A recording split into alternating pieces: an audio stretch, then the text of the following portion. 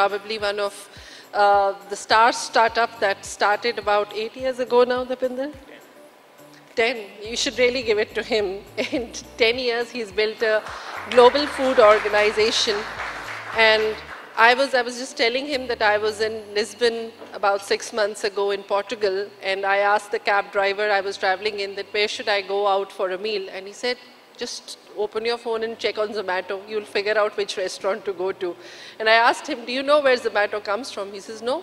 I said, it comes from India and I am from the same country. So it was such a moment of pride to be in another country and have somebody like a cabbie actually referring uh, an Indian company back to you.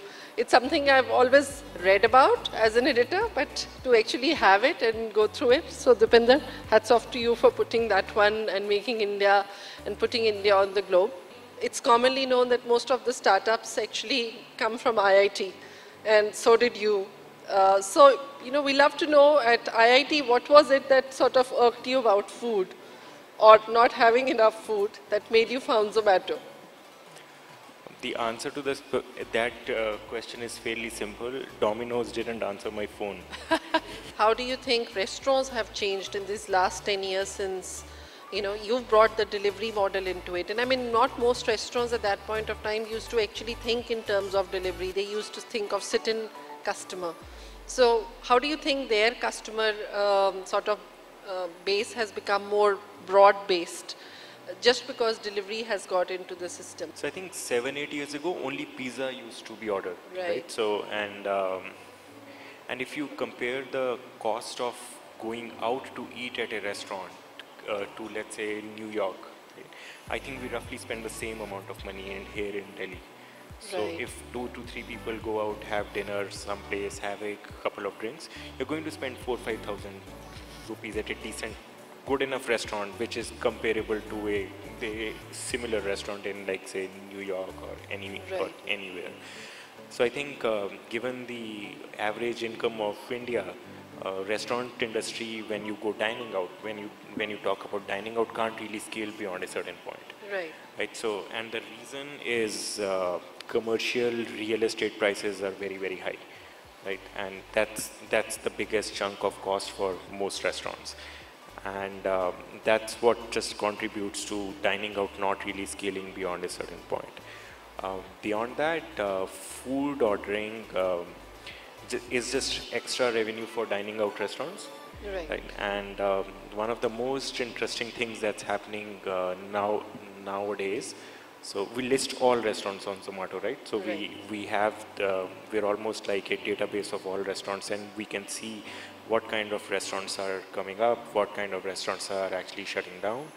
Um, about 85% of new restaurant openings in the last one year are actually dark kitchens. Kitchens, yeah, that's right. Yeah. So they don't have dining in spaces. They're just like, they're just uh, outlets, maybe not even in a prime real, real estate and rentals are so low right right so i think dark kitchens because they don't have like any front of the house, they can actually survive in non-commercial real estate as well. Yes, so that's what makes the price of ordering food much, much, much lower than price of having food when you go out somewhere.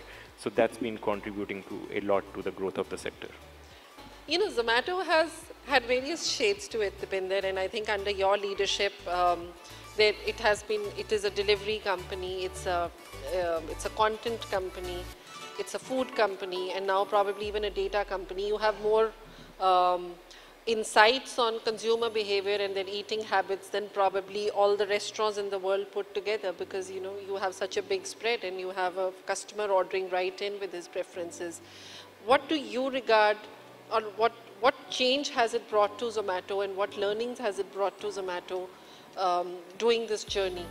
And today I think how that learnings can uh, have helped you sort of grow your business scale by scale, step by step into different uh, directions? A couple of years ago, we started this initiative called Zomato Hygiene, right? So um, what we used to do was, uh, I mean, we still do it. We go to restaurants and we actually audit their kitchens sure. and check whether they meet hygiene standards or not. Um, the the sad part of that story was that only about 20% of the restaurants that we audited made the cut.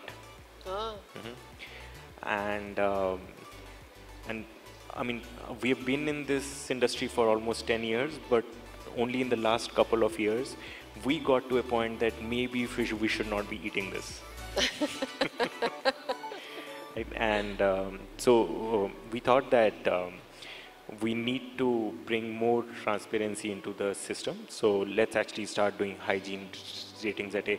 We actually then lowered the cost of a hygiene rating audit to almost 10% of what we started with. Right? We started taking the cost on us.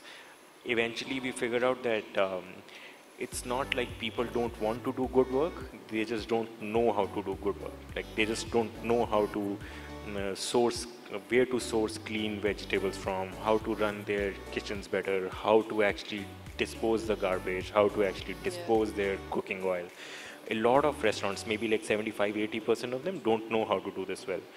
Um, so eventually uh, so nowadays we are almost a full stack company right? So we have this business called Hyperpure, Sure. uh, where we source pesticide-free veggies and antibiotic-free meats to supply to restaurants, right? So that the quality of food that we, I mean, eventually, like, I have a five-year-old daughter. I want her to eat from restaurants without fear of like whether this restaurant is high quality or not, right? So. That's the whole point. Like, can we actually improve the quality of restaurants? And for that, you have to do all the work. Like, we are saying that we will do everything for a restaurant except cook. So we will do all the science, and we will let uh, restaurant owners do the art. Um, if you go to Europe, eating out is cheaper than actually cooking at home. correct. And Right, so- even in Hong Kong. even in Hong Kong, in most other countries. I- India, we are not there yet. So the uh, the real shift in the favor of restaurant industry will happen once we are able to mm, price it under a dollar, so 60, Yeah. 70 bucks per meal. Like that's when the real shift is going to happen, and that's a very hard challenge in India, right? So trying to uh, deliver a meal to someone. Um, But you're able to do it outside India. Outside of India, the infrastructure and all of those things are actually much better. So restaurants are more efficient in general, right? So they actually are community kitchens in a way. Right. So there's there is less wastage, there is less manpower. There's a lot of things which uh, work in favor of restaurants. Um, that's why the prices are actually cheaper as well. Restaurants have more bargaining power in terms of uh, buying as well. So all these things uh, play in favor of restaurants outside of India. India, I think we, we still have to get down to very low prices in order for restaurant industry to scale to almost every household in the country. Sure. I am reasonably sure that even if women um, don't get into the workforce, but if we can provide a good hygienic meal for like 50, 60 bucks for everybody all the time, there's no reason for anybody to cook at home. In India, the, the more volume of ordering comes from smaller cities or in bigger cities? Smaller cities. Really? Mm-hmm. How is that? I mean, in smaller cities, I think there's all the more time to cook. We're still figuring this out. Why is this happening? We have some answer first, but um, I can give you some examples. There is a small town, maybe 100,000 people. We launched food delivery maybe 45 days ago, six weeks ago. Um, this Sunday, we got 6,000 orders In a city of 100,000 100,000. people. And you can assume a family of three to four. Gas की supply नहीं गई होगी वहाँ पे I have no idea. like I can't imagine any other reason why So they that's would like want to order. 20% of the population of Ordering that town eating food from Zomato on a single day. Uh, it was probably um, IOC's problem than any No, others. That's actually uh, everywhere. We are in 240 cities right now. And um, yeah, the growth is staggering. This, it's huge. Anything that you have, I mean, you know, which you can say that this is a culture that has got evolved in Zomato. I think the, I mean, what I'm going to say is painful and empowering at the same time. But we don't have a org structure at Zomato. I think the top 500 people don't know who they actually report to. Okay. So So who do they report to? They report to no one. So are they, so are they like, so do you sort of say that, okay, if you're three years down in the system, then you don't need to report to anybody, or is it just random? I mean, you have to take directions from somebody, even if you don't report to somebody. It's more about goals. Like, here's, here's what you've got to do, figure it out. Like, and if you need help, ask Ask whom? anyone, someone. So, and the same person would not go back and ask them that, what happened to that? No? Not much. It's visible, right? So Yeah. you're able to see whether someone needs And help. this goes more for your coding teams or even for your other teams? Uh, everyone almost like engineering teams, yes. Yeah. Um, I think first two, three levels of business teams as well. And do you set targets or? No, we set um, unnatural goals. it's more or less like um, let's grow 5x this year, or let's grow 10x. And you're able to achieve that? We're able to achieve maybe 30 40% of that, So which means 2x. which means 3x, 4x Two. sometimes. Yeah. Last year was 3.5x.